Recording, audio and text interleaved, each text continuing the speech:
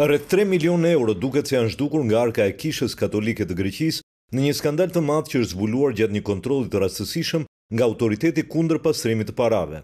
Gjatë hetimeve të këtij autoriteti është zbuluar se nga disa llogari të menaxhuara nga dy priftërinj, të cilët kanë një pozicion të lartë në hierarkinë e Kishës Katolike Greke, për rreth shtatë ose tetë vjet, tërhiqeshin para dhe përfundonin në llogaritë e pesë pronarëve klubesh nate në Peloponez si para investimesh. Rasti i fundit ka qenë vetëm pak ditë më parë me një transfertë prej pesëdhjetë mijë eurosh, që në fillim hetuesit arritën tek dy priftërinjtë, të cilët tashmë janë nën hetim për përvetësim kriminal parash dhe më pas tek pronarët e lokaleve të natës për të cilët kishte prova për pastrim parash. Organet kompetente kanë bllokuar pasuritë e lujtshme dhe të palujtshme, si dhe llogaritë bankare të tyre dhe të gjitha konkluzionet e hetimit të kreut të autoritetit janë tashmë në dorën e Prokurorisë Publike për t'u rishikuar penalisht. Në orët e ardhshme pritet të thirren nga prokurori të përfshirët në këtë skandal. Nga ana e saj, me një deklaratë për mediat Kisha Katolike Greke njofton se Sinodi i Shenjtë i saj nuk ka informacion në lidhje me raportimet në shtyp për përvetësim dhe pastrim parash dhe se pret informacion nga organet kompetente